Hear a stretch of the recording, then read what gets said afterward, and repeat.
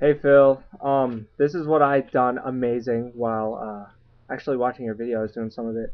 So, I'm an engineering student here at Virginia Tech, Virginia Polytechnic Institute and State University, and I was doing thermodynamics homework right here.